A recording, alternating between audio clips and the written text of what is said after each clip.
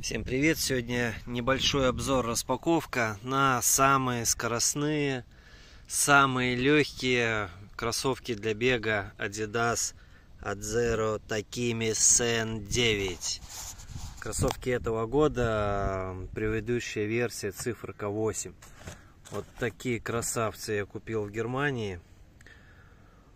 О, они классные, но медий немножко эта тема с этими кроссовками не подогрета, потому что я так считаю, что это кроссовки не совсем для любителей. Если ты бегаешь, ну, десятку, 45 минут э, и больше, то эти кроссовки не для тебя. Если там ты уже бежишь там около 40 минут десятку, то, возможно, эти кроссовки тебе подойдут.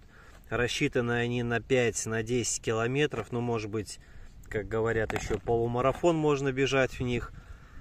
И все, для марафона они не предназначены. Ну, хотя я марафон бегал и в более легких, тонких кроссовках. Ну что, давайте посмотрим. Так, это я что? А, это я так сфри оформлял, да? Не отметил на границе. Ну что, в Германии в официальном магазине эти кроссовки стоят 200 евро. А, в интернет-магазинах я вбивал, видел их по 150 евро. Но у меня не было времени, то что был ограничен, надо было возвращаться назад.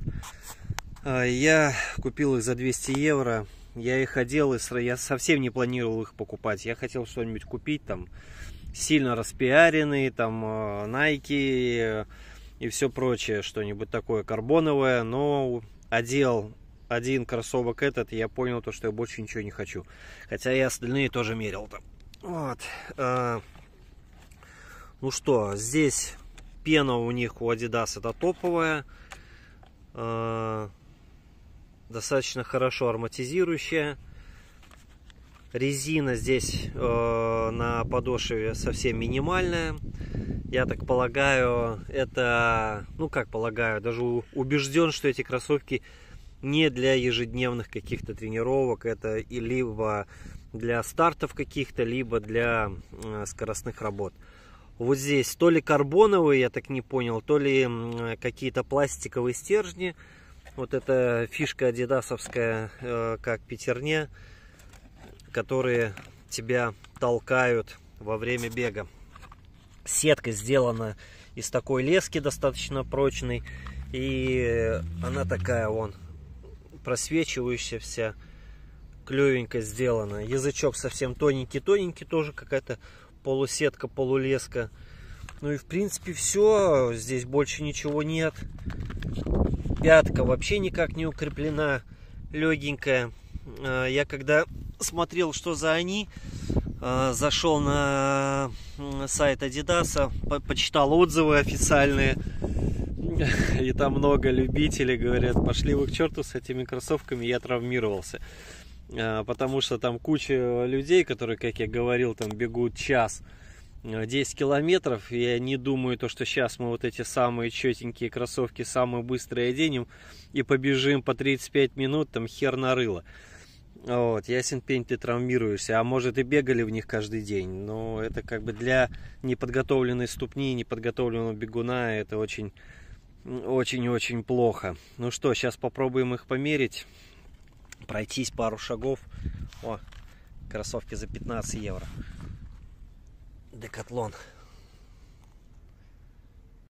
Ну что, они классные, они очень мягкие, а, прям пружинят тебя выталкивают, и когда приземляешься на мысок, тебя аж прям чувствуется, то ли пена толкает, то ли эти стержни, то ли карбоновые, то ли пластиковые выталкивают. Не, ну кроссы зачетные, конечно.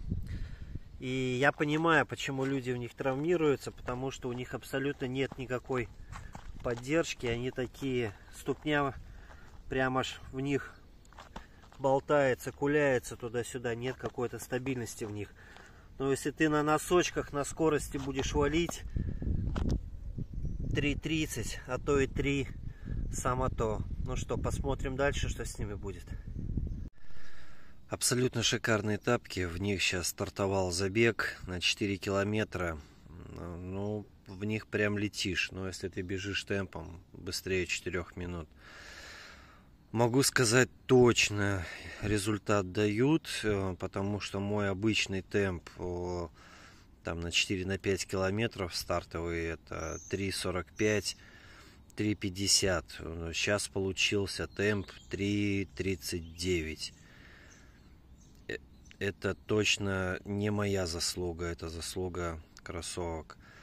А что еще могу сказать? Э, стопа очень нестабильная. Если ты попадаешь на какой-то шов в плитке, там на какую-то трещинку, на какую-то неровность, и тебя прямо аж готово выкинуть, э, подвернуть ногу. Так что, уважаемые бегуны, если вы не подготовлены голеностопом, то эти кроссовки не для вас.